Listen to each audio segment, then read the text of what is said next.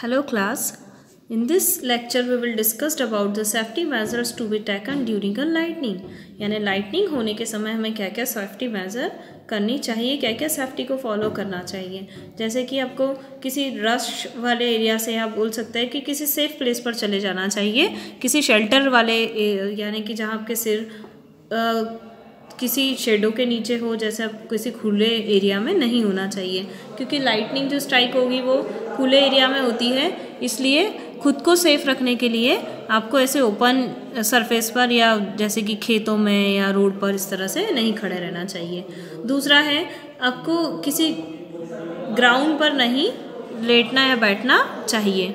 ठीक है? Do not take a shelter under the tree because tree provide a good conductor path of lightning जैसे कि अभी हमने देखा था कि सबसे ज़्यादा ट्री जो होती है वो कंडक्टिविटी अच्छी पास कर देते हैं तो लाइटनिंग प्रोसेस जो होती है वो ट्रीज़ पर ज़्यादा होती हैं। ठीक है? तो इसीलिए हमें किसी पेड़ के नीचे नहीं खड़े रहना चाहिए। Now if you are in the group of people stay about fifteen feet away from each other अगर आप रश में खड़े हैं तो आपको एक दूसरे से पंद्रह फीट की दूरी बना लेनी चाहिए, ठीक है? और जितनी भी वाटर बॉडीज़ हैं, उनसे भी दूर खड़े रहना चाहिए, क्योंकि वाटर भी बहुत अच्छा कंडक्टर होता है। तो जितने भी इलेक्ट्रिक चार्ज को पास कर सकते हैं, या इलेक्ट्रिसिटी के जो गुड कंडक्टर होते हैं, उनसे हमें दूर रहना चाहिए। Open vehicle like a scooter motor bikes tractor open cars open field वहाँ पर हमें नहीं खड़े रहना चाहिए, क्योंकि लाइटनिंग जो स्ट्राइक होगी वो सीधे हमारे ऊपर आ सकती है। Now quickly come down from the elevated place अगर आप बिल्डिंग के बहुत ऊंचाई पर या छत पर खड़े हैं या किसी ऊँची पहाड़ी पर हैं तो वहाँ से आपको तुरंत नीचे उतर जाना चाहिए और आपको रूफ टॉप पर, जैसे कि छत है, ठीक है बिल्डिंग की, आप वहाँ ऊपर चढ़े हुए हो तो तुरंत नीचे आ जाना चाहिए। सेकेंड नेक्स्ट है आपका, अगर आप किसी फॉरेस्ट एरिया में हैं, जंगल वाले, ठीक है तो किसी छोटे पेड़ की शेल्टर में आना चाहिए, क्योंकि छोटे पेड़ों पर चार्जेस जो होते हैं, वो क्लाउड से काफ़ी डिस्टेंस पर होंगे, उसकी हाइट छोटी होने के कारण, जिसके कारण वहाँ पर लाइटनिंग के चांसेस कम होते हैं as compare to tall trees में, ठीक है appear as a small as you can crouching on your knees on the ground अगर आप खुले में हैं और आपको सडन कोई शेल्टर नहीं मिल पा रहा है तो आप इस तरह से ग्राउंड पर बैठ सकते हैं, जो पोजीशन साइड में दिखाई है। आप अपनी जो हाइट है, उसको कम करने के लिए आप इस तरीके से अपने घुटनों के बल पर बैठ सकते हैं, ठीक है? ऐसा करने से आपकी जो लेंथ है, वो कम हो जाएगी और क्लाउड से आपकी डिस्टेंस कम से कम होगी, ठीक है? और दोनों हाथ को इस तरीके से रखकर आपको एक इस पोजीशन में बैठ जाना चाहिए, जिसमें आपकी साइज़ छोटी से छोटी हो जाए। ठीक है? और लाइटनिंग के आपके ऊपर आने के चांसेस कम से कम होंगे। अब इंडोर सेफ्टी मेजर्स यानी कि अगर आप घर के अंदर ही है और बाहर लाइटनिंग हो रही है थंडर की आवाज़ आपको सुनाई दे रही है तो आपको क्या सेफ्टी रखना चाहिए? अब आपको इलेक्ट्रिकल अप्लायंसेस आप जितने भी यूज़ करते हो उस टाइम पर लाइटनिंग के टाइम पर, जैसे टीवी एसी है कंप्यूटर्स हैं, इन सभी, ये सभी एक्सीलेंट कंडक्टर होते हैं इलेक्ट्रिसिटी के तो इन्हें अनप्लग कर लीजिए। मतलब अगर ये सॉकेट में भी इनके वायर लगे हुए तो इन्हें हटा दीजिए वहाँ से और इनका यूज़ उस टाइम के लिए बंद कर दीजिए। ठीक है? इस समय हमें शॉवर या बाथ या नहाना नहीं चाहिए। क्योंकि वाटर भी एक्सीलेंट कंडक्टर होता है। सपोज़ करो वो लाइटनिंग आप किसी के घर पर ही स्ट्राइक हो गई और वो अपने बाथरूम में नहा रहा है तो वो जो चार्जेस है वो पूरे घर पर फैल जाएँगे और लाइटनिंग यानी वाटर भी तो अच्छा कंडक्टर होता है, जिसके कारण उसकी जान भी जा सकती है। Lightning can strike telephone cords electrical wires और मेटल पाइप्स ये सभी के थ्रू लाइटिंग स्ट्राइक हो सकती है। तो थंडर स्ट्रॉम के टाइम पर इन सभी ऑब्जेक्ट के जो कॉन्टेक्ट है वो अवॉइड करने चाहिए, ठीक है? जैसे मोबाइल फ़ोन से कॉर्डलेस फ़ोन से, इन सभी को स्विच ऑफ़ कर देना चाहिए और प्लम्बिंग लाइन जो होती है, उससे भी अलग रखना चाहिए, जैसे कि उसे अलग रखना चाहिए। जैसे जो, ये पाइप जो होती है जनरली मेटल की बनी होती है, जो कि मेटल गुड कंडक्टर होता है इलेक्ट्रिसिटी का, ठीक है? तो ऐसी कोई चीज़ें हैं हमारे आसपास तो उसे हमें दूर घर से कर लेनी चाहिए। Now useful effect of lighting जैसे हार्मफुल इफ़ेक्ट है, वैसे यूज़फुल इफ़ेक्ट भी है। तो देखो लाइटनिंग बहुत इंपॉर्टेंट रोल प्ले मेजर करती है नाइट्रोजन साइकिल को चलाने में। हमें पता है कि हमारे नेचर में जो नाइट्रोजन गैस है, वो सबसे ज़्यादा मात्रा में पाई जाती है और ये, इसकी भी एक साइकिल चलती रहती है, जो एबायोटिक और बायोटिक कंपोनेंट के बीच में होती है। ठीक है? तो ये जो एटमॉस्फेयर की नाइट्रोजन है ना, उसको सॉइल के अंदर फिक्स करने का काम करती है, क्योंकि लाइटनिंग होगी तो जो हीट और लाइट रिलीज़ होती है लाइटनिंग के दौरान, वो उनके कॉम्बिनेशन से जो एटमॉस्फेयर में प्रेजेंट नाइट्रोजन गैस होती है और ऑक्सीजन होती है, वो आपस में रिएक्शन कर जाती है और रिएक्शन करने से नाइट्रोजन के ऑक्साइड बनाती है। और ये ऑक्साइड वाटर के साथ डिजॉल्व होकर नाइट्रिक एसिड बनाते हैं और नाइट्रिक एसिड बारिश के थ्रू कहाँ आ जाता है? उस मिट्टी में या सॉइल में आकर मिल जाता है और सॉइल से सॉइल में आकर वो नाइट्रेट के फॉर्म में सॉइल में मिक्स हो जाता है। ठीक है? और ये जब प्लांट ग्रो करते हैं तो वो सॉइल से नाइट्रेट्स के फॉर्म में इस नाइट्रोजन को गेन करते हैं और इस तरह से प्लांट के लिए एक न्यूट्रिशन का काम करता है। क्योंकि प्लांट को भी ग्रोथ करने के लिए जो नाइट्रेस नाइट्रेट की रिक्वायर्ड होती है वो इस नाइट्रोजन साइकिल के फिक्स होने के कारण मिल जाता है। ठीक है? लाइटनिंग प्रोसेस के थ्रू नाइट्रोजन साइकिल अच्छे से कंडक्ट होती है।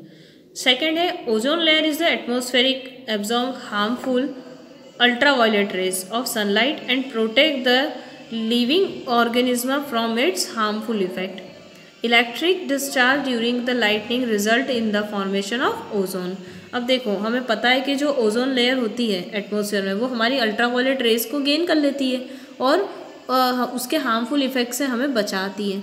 पर जब लाइटनिंग होती है तो ओजोन गैस बनती है। जब ऑक्सीजन प्रेजेंट होती है ना, उस ऑक्सीजन से ओजोन गैस बनती है और यही ओजोन गैस एक लेयर या प्रोटेक्शन लेयर की तरह काम करती है। ठीक है? और साथ में हमें ये देखने को मिलता है कि जितना भी इवोल्यूशन होता है लाइफ पर अर्थ पर जितनी भी लाइफ पॉसिबल है, ठीक है? या लाइफ में जो नए नए जीव बनते हैं या जो चेंजेस आते हैं एक जीव से दूसरा जीव बनने तक, ठीक है? उसके लिए कहीं ना कहीं लाइटनिंग भी रिस्पॉन्सिबल होती है, ठीक है? क्योंकि इसकी हीट और जो लाइट है, दोनों का इफ़ेक्ट पड़ता है किसी भी लिविंग ऑर्गेनिज्म पर। नेक्स्ट फिनोमिना हम देखेंगे, जैसे लाइटिंग और थंडर के बारे में हमने पढ़ा। नेक्स्ट है आपका अर्थक्वेक अर्थक्वेक आप सभी जानते हैं और छोटी क्लासेस में पढ़ चुके होंगे कि sudden shaking of the earth crust which last for a very short time यानी कि एक बहुत शॉर्ट टाइम इंटरवल के लिए अर्थ का शेक हो जाना शेकिंग होना, यानी कि हलचल होना अर्थ के अंदर अर्थ की क्रस्ट में, उसे हम अर्थक्वेक कहते हैं। ऐसा क्यों होता है? ये अर्थ क्रस्ट यानी अर्थ के सबसे मिडिल पार्ट जो होता है सेंटर पार्ट होता है अर्थ हमारी एक स्फीयर की तरह होती है और उसका सबसे सेंटर पार्ट क्रस्ट कहलाता है। तो अर्थ क्रस्ट के अंदर जब डिस्टर्बेंस आ जाता है तो उसका एक शॉक आपको अर्थ की सरफेस तक फील होता है और जिसे हम अर्थक्वेक कहते हैं। अर्थ के अंदर जितनी भी एनर्जी स्टोर्ड होती है, वो जैसे जैसे अंदर की तरफ़ आप जाते जाएँगे तो वो सडनली ज़्यादा अमाउंट में स्टोर होती जाएगी। और आपने देखा होगा कि वो एनर्जी जो है, उसके कारण अगर कोई डिस्टर्बेंस आ जाता है तो वो सडनली रिलीज़ होती है एक शॉक के फॉर्म में, ठीक है? और जिसके कारण कई जो अर्थ के अंदर जो रॉक्स हैं, चट्टाने हैं उसको एक झटका लगता है और चट्टाने की स्ट्रक्चर या रॉक्स की स्ट्रक्चर टूटने लग जाती है और वो टूटते टूटते जो डिस्टर्बेंस है वो ऊपर अपर सरफेस तक क्रिएट कर देती है और जिसको हम अर्थक्वेक कहते हैं। एक अर्थक्वेक जो भूज में आया था ट्वेंटी सिक्स ऑफ़ जनवरी को 2001 में। देखो, इस तरीके से सारा लॉस प्रॉपर्टी का होता है। बड़ी बड़ी बिल्डिंग्स गिर जाती है है ना? कई सारे ब्रिज कंस्ट्रक्शन जो हैवी कंस्ट्रक्शन है, वो तक इसमें पूरी तरह से डिस्ट्रॉय हो जाते हैं, ठीक है? अर्थक्विक को एग्जैक्टली exactly समझने के लिए कि कैसे होता है, सबसे पहले आपको अर्थ की इंटरनल स्ट्रक्चर को समझना ज़रूरी होता है। तो आपको बेसिकली पता होगा कि अर्थ जो होती है वो थ्री लेयर से बनी होती है क्रस्ट मेंटल और कोर ठीक है? अर्थ का अगर हम थ्री व्यू देखें तो कुछ इस तरह से होता है, जो सबसे इनर कोर होती है, ठीक है? ये येलो लाइट येलो कलर में इनर कोर है और जो डार्क येलो कलर है उसे हम आउटर कोर कहते हैं, फिर ये वाला आता है। ये पूरा जो येलो पार्ट है कोर है। कोर में दो टाइप हो गए इनर और आउटर उसके अलावा जो ये ब्राउन शेड है रेड और ब्राउन ये कहलाता है आपका मेंटल ठीक है? और सबसे ऊपर वाला जो ब्लू पार्ट है, वो क्रस्ट कहलाता है। ठीक है? तो क्रस्ट मेंटल कोर अब देखो क्रस्ट जो होती है, वो सबसे आउटर सरफेस होती है और कोर जो होती है इनर सरफेस होती है। ठीक है? तो जब डिस्टर्बेंस यहाँ से क्रिएट होगा, अंदर से तो वो डिस्टर्बेंस क्रिएट होता हुआ ऊपर तक आता है और ऊपर तक आने के कारण अर्थक्वेक होता है। ठीक है? और अर्थक्वेक को अच्छे से समझने के लिए इस क्रस्ट के अंदर कैसे डिस्टर्बेंस होता है, एकदम शॉक लगता है, चट्टाने कैसे टूटती हैं, ये हम इसमें देखेंगे। अब क्रस्ट मेंटल कोर में क्या डिफरेंस है? उसके बारे में पहले हम थिकने पोजीशन ऑफ़ लेयर की बात करते हैं। तो सबसे आउटर मोस्ट है, ये सेंट्रल या मिडिल में है और ये इनर मोस्ट होती है। थिकनेस की बात करते हैं तो ये कहाँ तक होती है? Five to ten kilometre. यानी अर्थ को जब आप डिग करना शुरू करेंगे तो फाइव से टेन किलोमीटर तक ठीक है कहाँ से? ओशियन फ्लोर से यानी समुद्र की सतह से। वहाँ तक क्रस्ट पाया जाता है ठीक है? और ये अप्रोक्स कितना मोटा होता है? Thirty to fifty kilometre. उसी तरह मेंटल की बात करते हैं तो ये आ, जो इसकी जो डेप्थ होती है ट्वेंटी नाइन हंड्रेड किलोमीटर होती है क्रस्ट के बेस से। यानी क्रस्ट खत्म होता है, उसके बाद मेंटल शुरू होता है। तो क्रस्ट जहाँ खत्म होता है, वहाँ से ट्वेंटी नाइन हंड्रेड किलोमीटर तक की रेंज इसकी होती है। ठीक है? और ये प्लेस टू प्लेस वेरी होती है, क्योंकि हर जगह एकदम प्लेन नहीं है हमारी अर्थ सरफेस भी, हमें पता है। तो ये कहीं 2830 से 2890 किलोमीटर थिक होती है, इसलिए प्लेस टू प्लेस वेरी भी करती रहती है। कोर को देखेंगे तो जहाँ मेंटल ख़त्म होता है वहाँ से 6360 किलोमीटर की आ, ये लेंथ तक या गहराई तक ये एक्सटेंड होती है ठीक है? और 3400 किलोमीटर थिक लेयर होती है। कंपोजिशन की बात करते हैं तो क्रस्ट के अंदर रॉक्स पीसेस होते हैं बड़े बड़े ठीक है? और कुछ लाइटर सब्सटेंस भी पाए जाते हैं। यानी कि जैसे सैंड पार्टिकल्स है, इसी रॉक के छोटे टुकड़े। हम सबसे पहले जब टिक करना शुरू करते हैं तो ऊपर हमें सॉइल मिलती है, फिर हमें उससे छोटे पार्टिकल्स मिलते हैं, फिर धीरे धीरे बड़े पीस मिलने लग जाते हैं और फिर पूरी रॉक्स मिलना शुरू हो जाती है। तो जैसे जैसे हम वहाँ पर अर्थ को देखते जाएँगे क्रस्ट सरफेस को तो सारे पार्टिकल हमें बड़े बड़े मिलने के बाद हमें एक बड़े बड़े रॉक्स के टुकड़े मिलना शुरू हो जाते हैं और फिर रॉक्स मिलती हैं। ठीक है? और जहाँ रॉक्स मिलना शुरू कर जाती है, बस वहीं से मेंटल की स्टार्ट होती है और मेंटल में स्पेशली आयरन और मैग्नीशियम की बड़ी बड़ी रॉक्स पाई जाती हैं। और कॉर की बात करें तो इसके अंदर आयरन और सम निकल और दूसरी मेटल्स भी होती है। इसका टेम्परेचर ज़्यादा होता है कोर का तो ये सारी मेटल होती है, ये मेल्ट फॉर्म में होती है। ठीक है, पिघली हुई अवस्था में होती है। पैरामीटर की बात करते हैं स्टेट ऑफ़ मेटल तो जो क्रस्ट होता है वो सॉलिड होता है। मेंटल हाई प्रेशर के कारण इसकी जो रॉक्स होती है वो सॉलिड स्टेट में होती हैं। कभी कभी इनर लेयर के अंदर ये रॉक्स होती है, वो पिघली हुई अवस्था यानी कि मोल्टेन स्टेट में भी होती है। कोर के अंदर जितनी मेटल्स पाई जाती हैं, वो और हाई टेम्परेचर होने के कारण, ठीक है? सबसे मोल्टेन स्टेट में होती है इसके अंदर, लेकिन जो इनर वाली कोर है, वो अगेन एक सॉलिड बॉल होता है, ठीक है? अब हम पढ़ेंगे causes of earthquake earthquake actually कैसे आता है? तो उसके कारण क्या क्या है? तो सबसे पहले टेक्टोनिक प्लेट्स जो होती है, ठीक है? उसके मूवमेंट के कारण ऐसा होता है। वॉल्केनिक इरप्शन यानी कि ज्वालामुखी का फटना, क्योंकि हाई प्रेशर से जब ये सारी मोल्टेन मेटल है कोर से एकदम बाहर की तरफ़ आती है तो वो पूरे स्ट्रक्चर को डिस्टर्ब कर देती है, जिसके कारण अर्थ को एक आ जाता है। Dislocation of the crust and underground nuclear explosion crust में किसी भी क्रस्ट सरफेस का एकदम डिसलोकेट हो जाना या अपनी जगह से खसक जाना, जिसको फॉल्ट भी कहते हैं ऐसा हो जाना या फिर कोई न्यूक्लियर एक्सप्लोजन या फिर न्यूक्लियर बॉम्ब का फटना, ठीक है? तो इस तरह से कोई धमाका होने के कारण जो वाइब्रेशन होता है, उसके कारण भी अर्थक्वेक आते हैं। तो सबसे पहले टेक्टोनिक प्लेट के मूवमेंट के बारे में हम समझेंगे। हमें पता है कि अर्थ की सरफेस है, वो कभी भी कंटिन्यूस नहीं है। वो कई पीसेस या बोल सकते हैं कि कई सारे टुकड़ों से मिलकर बनी हुई है, ठीक है? और कई बड़े बड़े पीस जो होते हैं, चट्टानों के मैंने आपको बताया था कि पहले टुकड़े आते हैं जब हम अर्थ को डीक करना है खोदना शुरू करते हैं तो मिट्टी के बाद उससे बड़े पार्टिकल फिर और बड़े पार्टिकल और फिर धीरे धीरे आपको रॉक्स के पीसेस मिलना शुरू हो जाएँगे। तो जो क्रस्ट सरफेस होती है, उसमें ऑलमोस्ट रॉक के पीसेस पाए जाते हैं, जिसे हम कहते हैं टेक्टोनिक प्लेट ठीक है? अब ये टेक्टोनिक प्लेट क्या होती है? आपस में बड़े बड़े ब्लॉक से जो एक दूसरे से फिट है। फिट है मतलब ठोस स्ट्रक्चर है, यानी कि एक दूसरे के साथ एक फिक्स्ड वे में जमे हुए हैं। ठीक है?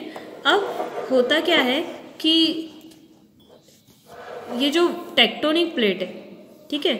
ये छोटी छोटी कई सारी ऐसी प्लेट्स होती है प्लेट्स के रूप में जमे होते हैं और जमते जमते जब इन प्लेट के बीच में से एकदम से पहली प्लेट और दूसरी प्लेट के बीच में डिफरेंस आ जाए या ये खसक जाती है, जिसके कारण अर्थक्वेक आ जाता है। तो देखेंगे हम due to the slow movement ठीक है, जिसको हम बोलते हैं कन्वेक्शन करंट अर्थ के अंदर चलती है, और ये जो प्लेट होती है, जो एक दूसरे के ऊपर प्रॉपरली अरेंज है, या एक दूसरे के पास प्रॉपरली फिक्स हो चुकी है, ये एक दूसरे से कुछ इंच ऊपर नीचे खसक जाती है, ठीक है, और स्पेशली कोई ओशियन या या फिर कोई बड़ी वाटर बॉडी है उसके इंटरनल स्ट्रक्चर में जैसे ही वाटर का फ्लो आता है या वाटर का एक्स्ट्रा प्रेशर आता है तो भी इस टेक्टोनिक प्लेट पर इफ़ेक्ट पड़ता है। ठीक है?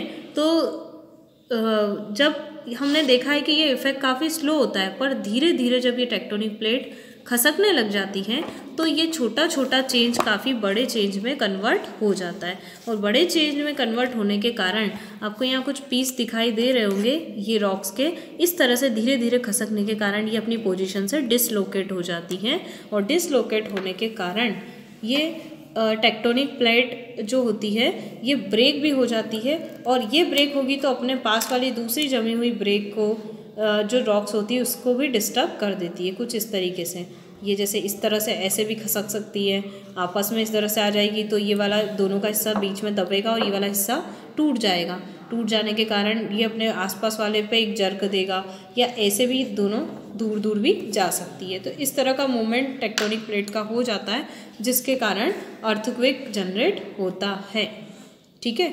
और एक ट्रेमर या बोल सकते हैं कि अगर एक प्लेट में ये खसकने के कारण जो वाइब्रेशन आया है, वो वाइब्रेशन दूसरी प्लेट तक भी जाता है और यही वाइब्रेशन पहुँचता पहुँचता सबसे अपर सरफेस तक चला जाता है और जब ये वाइब्रेशन जहाँ से शुरुआत हुई है, उस पॉइंट से अपर सरफेस तक पहुँचते पहुँचते ये वाइब्रेशन काफ़ी बढ़ जाता है क्योंकि ये दूसरी प्लेट को भी डिस्टर्ब करता हुआ ऊपर की तरफ़ आता है। और ऐसा होते होते सरफेस तक आते आते इसकी एनर्जी इतनी फास्ट होती है, जिसका इफ़ेक्ट काफ़ी हार्मफुल होता है।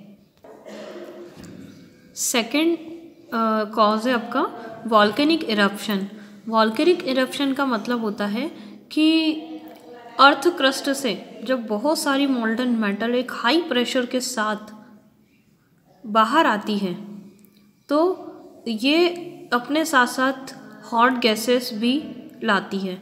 और ऐसा करने से जब ये बहुत हाई प्रेशर से रिलीज़ होती है बाहर की तरफ़, जैसा आपको इमेज में शो किया है तो इस तरह से पूरे अर्थ के अंदर एक वाइब्रेशन आ जाता है, क्योंकि ये हाई प्रेशर से हॉट गैसेस और मोल्टन मेटल दोनों बाहर आ चुका है। तो अर्थ में ये वाइब्रेशन क्रिएट करता हुआ ये बाहर निकलता है और इसी वाइब्रेशन के कारण अर्थक्वेक आने के चांसेस होते हैं। थर्ड है आपका डिसलोकेशन और फॉल्ट ऑन दी क्रस्ट हमने देखा है कि कई मिलियंस ईयर पहले जो भी टेक्टोनिक प्लेट होती है, ठीक है वो कभी कभी नॉर्मली डिस्प्लेस ना होते हुए वीक हो जाती है, कमज़ोर हो जाती है, ठीक है? और जहाँ कमज़ोर होना मतलब उसमें क्रैक आ जाना या वो पॉइंट जहाँ पर वो बहुत वीक है, वहाँ से उसके खसकने के चांसेस ज़्यादा हैं डिस्प्लेस होने के। उस पॉइंट को हम कहते हैं फॉल्ट और वो फॉल्ट धीरे धीरे टेक्टोनिक प्लेट प्लेट की बाउंड्री तक पहुँच जाता है और इस तरह टेक्टोनिक प्लेट ब्रेक हो जाती है और उसका एक छोटा सा शॉक धीरे धीरे सारी प्लेट पर ट्रांसफ़र होता हुआ अर्थक्वेक का कारण बनता है। ठीक है? और ऐसे जहाँ, ऐसे जोन जहाँ पर ऐसे फॉल्ट पाए जाते हैं, उसको हम सिस्मिक और फॉल्ट जोन कहते हैं। इंडिया की बात करते हैं तो सबसे मोस्ट थ्रेटन्ड एरिया जो होता है, जहाँ पर ऐसे फॉल्ट आने के ज़्यादातर रीज़न है, वो है Kashmir. Western and central Himalaya and whole the north east part Rann of Kutch Rajasthan and the Indo Gangetic plain some areas of south India also fall in the danger zone जहाँ पर tectonic plate इसी तरह week हो जाती है और टूट जाती है और जिसके कारण अर्थक्वेक आने के चांसेस होते हैं।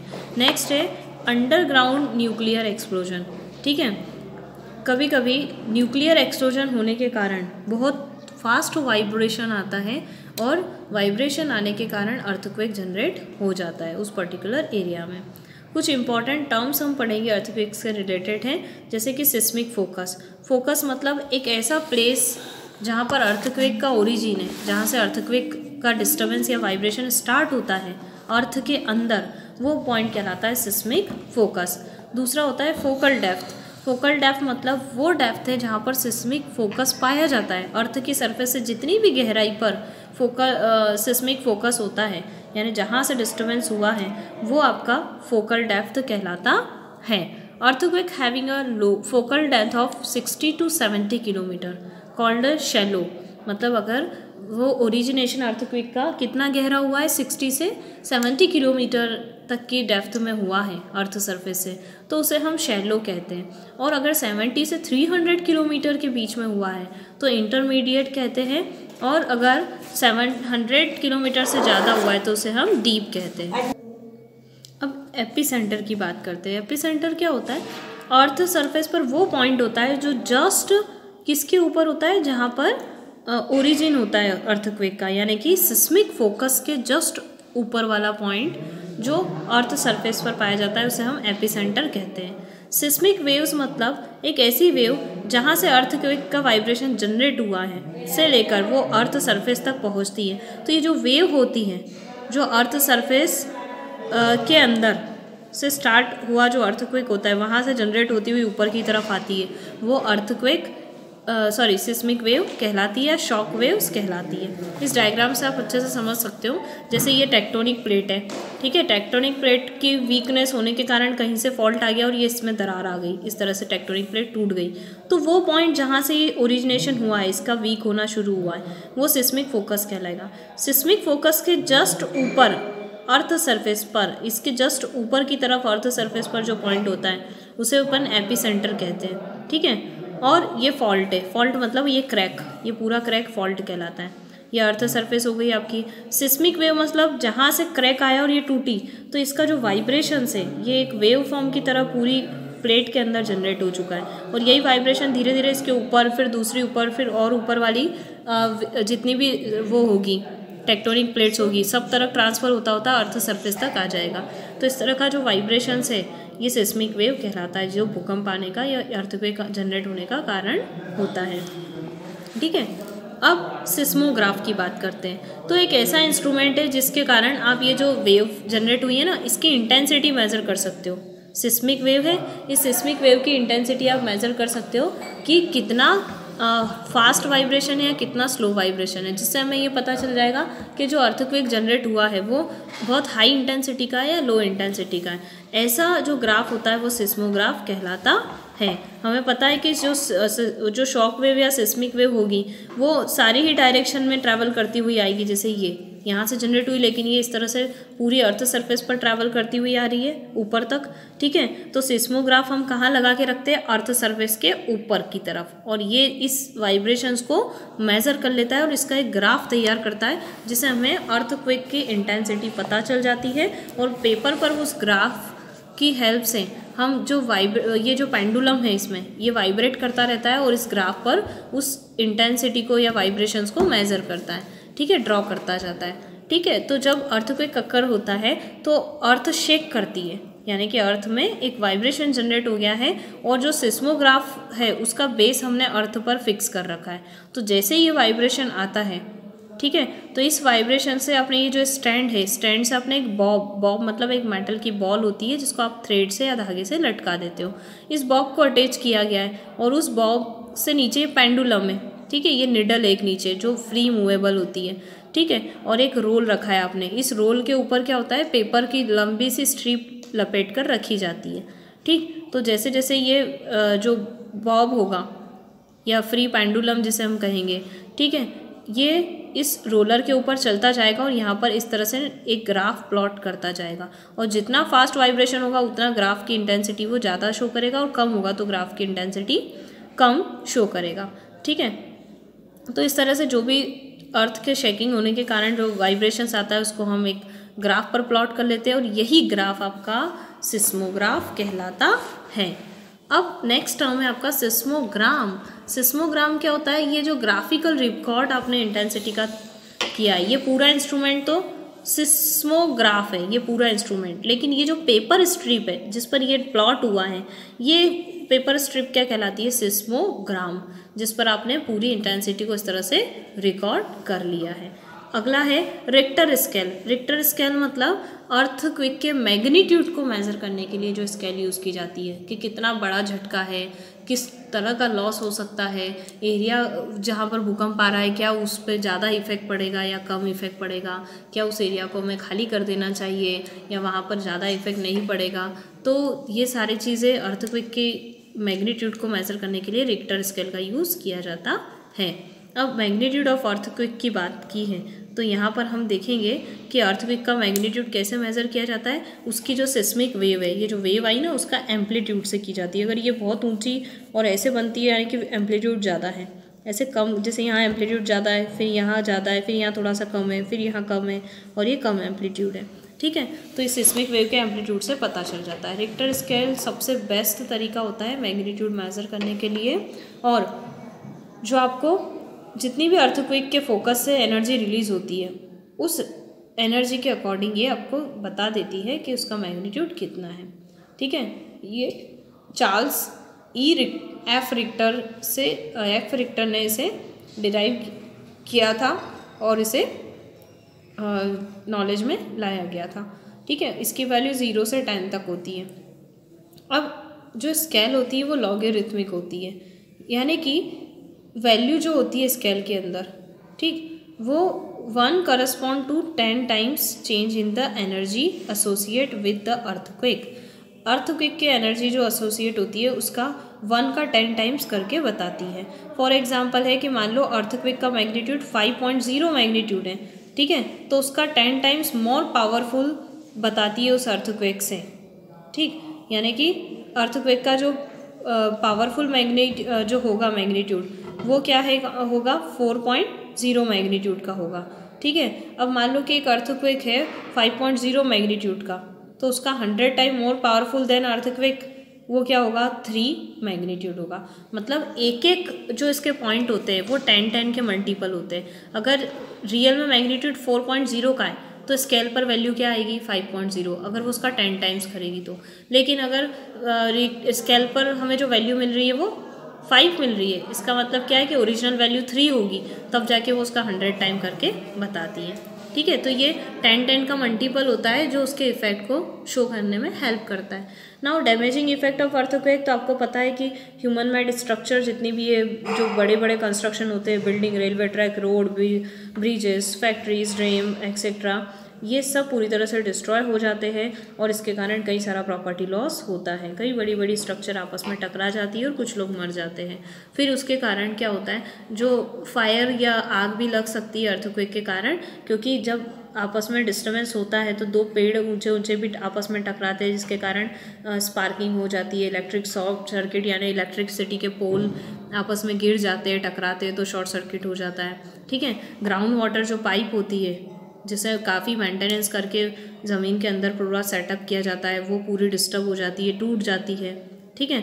अगला है tremors in hilly areas and the mountains cause a landslide अब भूस्खलन जैसी प्रोसेस होती है, यानी हीली एरियाज़ पर अगर कोई कंस्ट्रक्शन बना हुआ है बड़े बड़े घर बने हुए हैं तो वो सब अर्थक्वेक के कारण माउंटेन और हीर एरिया की जो प्लेट्स होती है, जो पत्थर होते हैं, वो खसकने लग जाते हैं। लैंडस्लाइड होना शुरू हो जाता है, जिसके कारण कई सारे लोगों की जान भी चले जाती है और उनके घर भी टूट जाते हैं।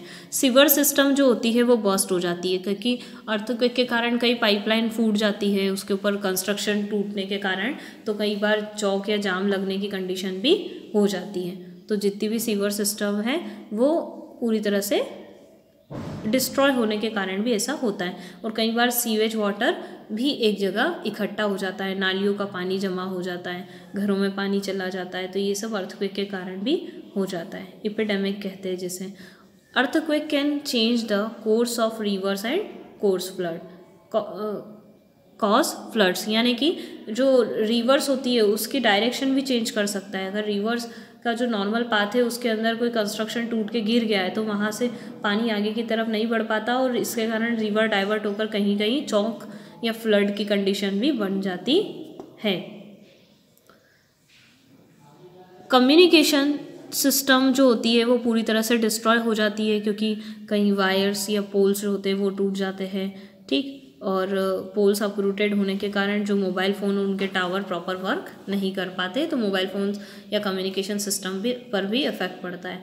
Earthquake under the ocean floor some time generate a powerful sea waves called a tsunamis और यही अर्थक्विक का वाइब्रेशन अगर ओशियन या सीज के अंदर चला जाता है तो वहाँ पर वाटर वेव्स में इतना डिस्टर्बेंस आता है जिसके कारण सुनामी या फ्लड की कंडीशन जनरेट होती है।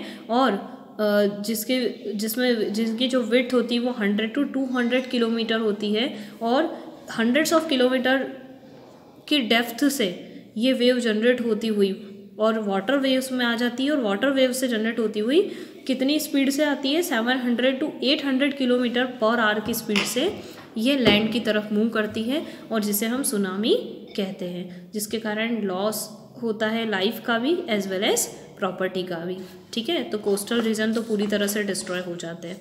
उसके अलावा अर्थ के से आप कैसे सेफ़ कर सकते हो? तो जब सेफ्टी हम इसके बारे में पढ़ेंगे तो पहले हम आउटडोर सेफ्टी के बारे में पढ़ते हैं। तो हाईली सिस्मिक जोन जो होता है, जहाँ पर आए दिन अर्थ आने के चांसेस है ठीक है, वहाँ पर जो मटेरियल कंस्ट्रक्शन होता है वो लाइट यूज़ करना चाहिए। जैसे मड और टिम्बर के घर होते हैं जो लाइट वेट कंस्ट्रक्शन होते हैं, है ना? ज़्यादा ऊँची बड़ी बिल्डिंग और हैवी कंस्ट्रक्शन नहीं करना चाहिए, क्योंकि हमें पता है कि इसके कारण जो लाइफ होता है, यानी कि कुछ लोग भी मर सकते हैं दबकर, और साथ में जितना पैसा लगाकर हम कंस्ट्रक्शन करते हैं, वो सब लॉस हो जाता है। दूसरा है, जो कबर्ड्स और शेल्फ्स होते हैं, वो वॉल में फिक्स होने चाहिए, क्योंकि वो इधर उधर जब अर्थक्वेक आते हैं तो वो घर के अंदर इधर उधर गिरे नहीं, है ना? जिससे किसी भी बच्चे के या कोई बुज़ुर्ग है या कोई पर्सन है, उसके दबने के चांसेस और मरने के चांसेस कम होते हैं। वॉल क्लॉक्स और फ़ोटो फ्रेम्स जो होते हैं वाटर हीटर्स होते हैं, ये सिर्फ़ प्रॉपरली हैंग होने चाहिए। दीवारों पर हमने जो भी टांग रखा है, वो हमें प्रॉपरली फिक्स्ड रखना चाहिए, ताकि छोटे मोटे वाइब्रेशंस का ऊपर इफ़ेक्ट ना पड़े और वह नीचे ना गिरे। All building specially tall buildings should have a fire fighting equipments क्योंकि कभी कभी ऐसा हो सकता है कि अर्थक्वेक के कारण शॉर्ट सर्किट या आग लग जाए तो फायर फाइटिंग एलिमेंट्स होना चाहिए, जिससे हम आग को बुझा सकें, ठीक है? और जो ओपनिंग डोर्स बनाए जाते हैं, वो आउटवर्ड होने चाहिए मतलब आपके घर के दरवाजे अंदर की तरफ़ खुलते हुए नहीं होने चाहिए, क्योंकि अंदर से अगर कोई कंस्ट्रक्शन गिर गई तो दरवाज़ा नहीं खुल पाएगा तो दरवाज़ा हमेशा बाहर से खुलता हुआ होना चाहिए तो उसको कहते हैं आउटवर्ड ओपनिंग डोर होने चाहिए। अब इंडोर सेफ्टी की बात करते हैं तो अगर अंदर कुछ ऐसी कंडीशन है कि अर्थवेक के कारण स्ट्रक्चर टूट गई तो हमें तुरंत ही बाहर की तरफ़ चले जाना चाहिए, ठीक है? अब अगर आप किसी कार या बस के अंदर ट्रैवल कर रहे हो तो उससे बाहर ना आओ और आपके ड्राइवर को कहो कि जो ओपन एरिया है, ठीक है? वहाँ से भी कार निकाले और स्लोली मतलब जो टॉल बिल्डिंग या ट्रीज़ या ब्रिजेस हैं, वहाँ उसके पास से ना निकालें। खुले हिस्से से निकाला जाए कार को और साथ में धीरे धीरे बड़ी केयरफुली से कार को पास करना चाहिए। अगर ब्रिज या ट्रीज या ऐसे कोई एरिया आ जाते हैं तो। Move away from the building अगर आप नॉर्मली वॉक कर रहे हो और आपको ऐसा लग रहा है वाइब्रेशन तो आपको बिल्डिंग से ट्रीज से ब्रिजेस से फ्लाई ओवर ब्रिज है ओवरहेड इलेक्ट्रिक केबल लाइन से इन सभी से दूर हो जाना चाहिए। ठीक है? उसके साथ ही इंडोर सेफ्टी में आपको घर के अंदर अगर ऐसा कुछ फील हो रहा है अर्थक्वेक का तो आपको तुरंत ही किसी टेबल के नीचे जाकर बैठ जाना चाहिए, ठीक है? जब तक कि वाइब्रेशंस बंद नहीं हो जाते, ठीक? अगर आप बेड पर हो तो उठो मत वहाँ से और आपके सिर को पिलो से प्रोटेक्ट कर लो, ताकि किसी कंस्ट्रक्शन में अगर बाई चांस ऐसा हो जाता है कि किसी चीज़, कोई चीज़ आपके ऊपर गिर जाती है, अलमीरा है कबर्ड है वाइब्रेशन के कारण तो उससे आपका सर डैमेज नहीं होना चाहिए। उसे पिलो से ढक लेना चाहिए, ठीक है? अगर आप मैनेज कर सकते हो बाहर की तरफ़ आना आपके घर से, ठीक? तो घर से बाहर आकर किसी ओपन स्पेस की तरफ़ खड़े हो जाना चाहिए, जैसे कोई पार्क है, ठीक है? या कोई गार्डन है जहाँ पर आप सेफ़ हो। ठीक है, जहाँ पर आपके ऊपर कुछ गिरने के चांसेस ना हो। Stay away from the window bookcase file cabinets heavy mirrors and other object could that fall आपके घर में ऐसी जो भी चीज़ें जो गिर सकती है वाइब्रेशन से उससे आप दूर रहें। किचन में आप रेफ्रिजरेटर कुकिंग गैस स्टोव और ओवरहेड कैबिनेट्स इन सभी से दूर रहें। अगला है turn off the power supply and gas supply. आपके घर में जो गैस सप्लाई है और पावर सप्लाई, दोनों को आपको बंद कर देना चाहिए ताकि किसी भी तरह का दूसरा लॉस भी ना हो। ओके यहीं पर आपका चैप्टर ख़त्म होता है। Thank you